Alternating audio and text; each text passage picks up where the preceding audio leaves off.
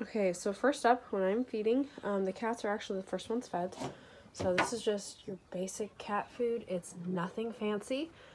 It's what they have at the feed store. Um, I get the one that is cat and kitten, so I don't have to worry about it. It's also cheaper. It's whatever. I just give them a scoop. They do have DE, diatomaceous earth, in there as their dewormer. Feeding is pretty easy. We don't actually have bowls. It just gets shoved into the house. And everybody kind of feasts.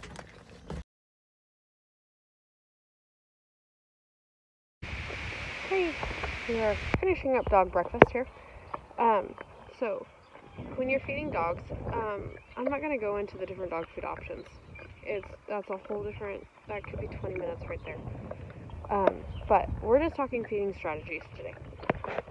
So, the biggest thing, if you're going to have more than one dog, feed them in a group. Um, if you have similar breeds, you're done. You can um, you can feed them all out of one bowl. Um, so I've got a good friend who runs Kelpies, um, and she feeds them all in just a great big, it's what I feed my horses in, um, great big feed pan, they all just eat together.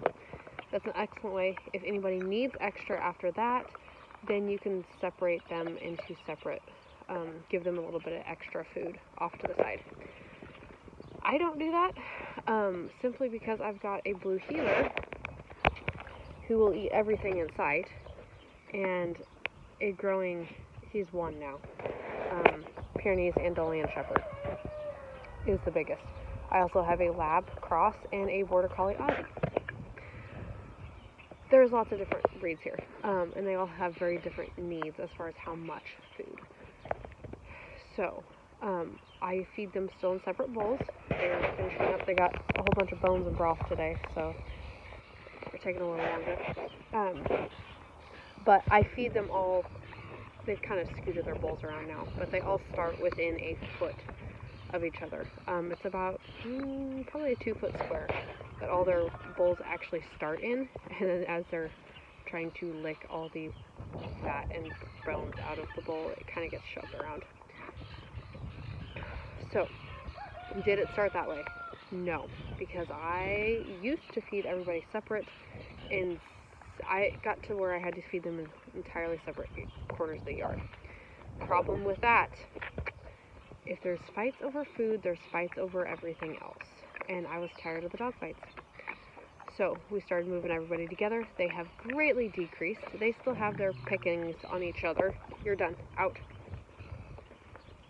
They still have their pickings on each other occasionally. Um, but for the most part, there's no more like full on out fights. You're done. You know the rules.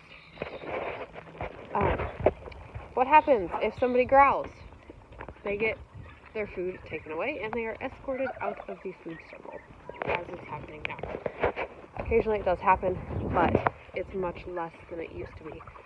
Uh, the worst day we had was a day when pretty much everybody lost their food bowl. I think the lab was the only one who kept his food that day because it was just an all-out brawl. But after that, it's very rare that I have to take anybody out. Um, so yeah, feed them together.